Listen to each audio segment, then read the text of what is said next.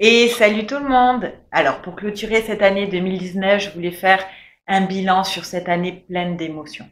Donc tout ça, c'est grâce à vous, grâce à vos commentaires, grâce à vos likes, simplement grâce au fait que vous regardiez mes vidéos et que vous me suiviez.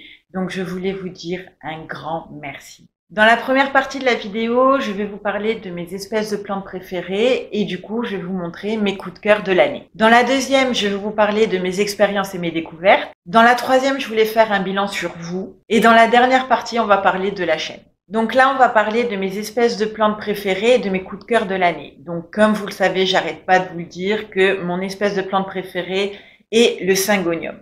Et dans le syngonium, cette année, j'ai fait l'acquisition de deux beautés. Donc déjà, il y a le Syngonium Red Arrow.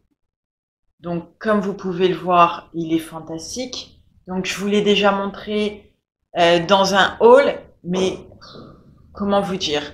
Comment vous dire que c'est une merveille? C'est une merveille, regardez-moi ça. Euh, je pense que les images parlent d'elles-mêmes. Euh, c'est vraiment une beauté rien d'autre. Donc voilà, celui-là déjà de très grandes feuilles et je ne sais pas comment vous expliquer, mais son feuillage, il est, il est un petit peu effacé. Voilà, je pense que c'est ça. On dirait une peinture en fait sur toile qui a été légèrement grattée et, et voilà quoi. Il n'y a pas d'autre mot que dire qu'il est fantastique. Donc celui-là, c'est le Frosted Earth il est waouh. Voilà, il est waouh. C'est tout ce que j'ai à dire. Donc en deuxième position viennent les philodendrons. Donc dernièrement, je vous ai fait la présentation de tous mes philodendrons, donc je vais y aller vraiment rapidement. Euh, donc mes deux préférés sont le Mikans et le Astatum, Silver Sword. Donc le Mikans, donc regardez-moi ce feuillage qui est un petit peu aspect velours, qui est que j'ai dû tutorer parce que les, les, feuilles traînaient dans la terre et du coup elles s'abîmaient un petit peu donc j'ai préféré le tutorer et on verra bien ce que ça donne. C'est une plante qui a énormément grandi et j'ai hâte qu'elle devienne très très grande en fait. Ensuite, il y a le astatum. Alors le astatum, donc, il a une allure un petit peu bizarre pour moi. Euh, donc on verra bien ce que ça va donner. Je pense que je vais bien le tailler au printemps, faire des boutures pour le refournir un petit peu en fait, parce que là vraiment il fait un peu pitié. Donc là les trois dernières espèces que je vais vous montrer, elles sont quasi à égalité, donc je vais essayer de faire un classement. Euh... Ouais, le potos. Donc en troisième, je vais classer, je vais mettre le potos. Donc le potos qui est, qui est beau, surtout ceux-là. Alors là, on a le potos néon. Regardez-moi cette couleur. Regardez-moi ce, cette vivacité, il est juste fantastique, quoi. Donc là, c'est une petite bouture que Riyad m'a envoyée, donc merci, et qui a pas mal grandi quand même, parce que vraiment, vraiment, il est beau. En plus, dans ce, bouche, dans ce pot, je trouve qu'il ressort super bien. Non, j'adore. J'adore le potos néon. Et, euh, et voilà quoi. J'ai pu m'apercevoir qu'il en existait encore énormément. Et comment vous dire que je les aime tous et que j'ai envie de tous me les procurer? Donc euh, cette année 2020 risque d'être riche en acquisition, moins riche pour mon compte en banque. Hein et ensuite j'ai le poteau Struby. Alors regardez-moi ça. Regardez-moi ces reflets. Regardez-moi ces feuilles. Il est juste fantastique. Mais vraiment fantastique. Donc ça aussi c'est une... Je les ai achetés en fait. En fait celui-là je l'ai acheté en même temps que mon syngonium. Euh, sur quelqu'un qui les vendait sur Instagram. Donc ils sont pas dans un super état, mais on va au printemps ils vont bien se, se requinquer. Évidemment, je les ai achetés en hiver, donc c'est pas évident. Donc en quatrième position, on a les alocasia. Donc euh, j'en ai j'en ai sept. Cela aussi, je vous avais montré ma collection complète euh, dans une vidéo. Je vous avais parlé aussi de, de sa culture. Euh, voilà quoi. C'est juste magnifique. Ce sont des plantes qui prennent énormément de place, donc du coup, je vais me calmer. Là, j'en ai sept, je n'en veux pas plus, parce que sinon, je pense que ça va, ça va, ça va être galère, quoi. Donc là, mon préféré de chez préféré, c'est le Black Velvet. Donc voilà, je pense que vous comprenez pourquoi. Hein. Je crois que j'ai besoin de rien dire. Il est juste magnifique. Il va mais super bien. Là, on est fin décembre, donc euh, ce que je comprends pas, c'est qu'il n'y a pas de période de végétation cette année ou, bien? Non, non, il me sort encore une feuille. Toutes mes plantes me sortent des feuilles. Je ne comprends pas. C'est, euh, je pense que bon, c'est une année assez particulière. Comme vous l'avez bien compris, hein, de toute façon, chez vous, ça doit être pareil. Donc voilà. Et là, c'est mon Alocasia Stingray. Euh, elle aussi, elle parle d'elle-même. J'ai besoin de rien dire d'autre. Alors, et pour terminer, on va parler Calathea. Donc, j'en ai six, ce qui est déjà pas mal, je trouve. Euh, c'est une plante qui est très très belle, mais qui n'est pas ma préférée parce que j'ai quand même un petit peu de mal avec son humidité. Euh, malgré que ça va beaucoup mieux qu'avant, là j'ai celui-là, le Roséopicta. Il est juste magnifique. Regardez-moi l'envers de ses feuilles, ce pourpre. Alors celui-là, c'est un survivant. Il est mort deux fois. Voilà, enfin mort. Euh, il n'est pas si mort que ça vu qu'il est là.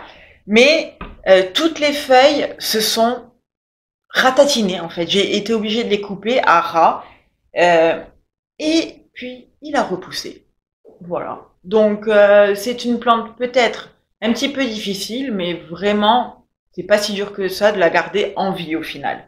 Et là, dernièrement, donc euh, le petit pied ici, pareil, j'avais deux feuilles, elles sont mortes toutes les deux en même temps. J'ai coupé et il y en a une autre qui est ressortie. Donc, euh, donc voilà. Donc voilà, le problème des calathea, évidemment, c'est son taux d'hygrométrie. Et ça, c'est un petit peu compliqué pour tout le monde, j'imagine. Et ensuite, j'ai le Calathea makoyana. Alors, regardez-moi ça comme il est. Il est juste fantastique. Celui-là aussi, je l'ai acheté il y a pas longtemps. Et vraiment, mais il a poussé à une allure. Waouh. Et là, il est en train de me faire une feuille. Je ne sais pas si vous allez pouvoir voir. Non, je pense pas. C'est vraiment tout petit. C'est juste là. Voilà. Voilà, il n'y a pas de période de végétation cette année, ce qui est, je ne sais pas si c'est inquiétant ou pas, mais le problème c'est que que j'ai peur qu'elles viennent plus tard et du coup que les plantes se fatiguent. Enfin, je sais pas. Je sais pas, c'est un peu comme nous, on a tous besoin d'une période de repos et, mais elle, je pense pas qu'elles vont l'avoir cette année, vu que on est fin décembre et que c'est toujours pas le cas. Je sais pas trop. Donc là maintenant, on va parler de mes découvertes et mes expériences. Donc euh, déjà mes découvertes. Donc j'ai enfin trouvé le substrat qui me convenait le mieux pour mes succulentes. Donc comme vous le savez, les miennes sont au soleil à l'extérieur et mm, j'avais un problème de substrat. Mon substrat avait tendance à se compacter. Du coup, les plantes ne se développaient pas très très bien. Et du coup, j'avais un feuillage un petit peu soit dégarni, soit abîmé. Donc mon mélange idéal actuellement, hein, parce que bon, je suis toujours amenée à trouver mieux, euh, c'est euh, deux tiers de terreau fertiligène pour cactéies succulentes avec un tiers de sable. Un bon tiers de sable grossier que l'on trouve pour les aquariums. Euh, moi, je prends le Zoo Plus parce que je n'ai pas le choix, en fait, il y a que ça. Euh, mais il me convient très bien. Et depuis, en fait, les plantes se développent beaucoup mieux, elles boivent beaucoup plus facilement puisque le terreau n'est plus compacté, donc il est un petit peu plus friable. Et elles vont beaucoup, beaucoup mieux. Donc, du coup, j'ai hâte à vous faire mon plan de tour, je pense au printemps, de toutes mes succulentes. Euh, comme ça, on va voir leur évolution. Ensuite, ça a été un été, mais très meurtrier pour moi, au niveau de mes succulentes. Alors bon, déjà il y a eu la canicule, donc les plantes certaines, elles sont faites pour, mais elles n'ont pas été habituées au final. Euh, on a eu un été extrêmement sec et extrêmement chaud, et du coup j'ai perdu quelques plantes. Mais j'ai pas perdu des plantes uniquement à cause de la canicule.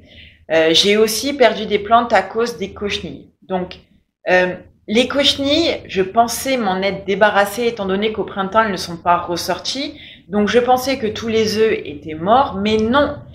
Euh, en plein mois de juin, donc les œufs ont tous éclos d'un coup. J'ai eu une invasion de cochenilles. En une semaine, toutes mes plantes étaient atteintes. J'ai rien compris. J'ai rien compris et du coup, je n'ai pas eu le temps euh, de toutes les traiter. Même aujourd'hui, j'ai des plantes qui sont en cours de traitement, d'autres je n'ai même pas encore eu le temps de toucher. Mais la bonne nouvelle, c'est que j'ai trouvé la solution miracle.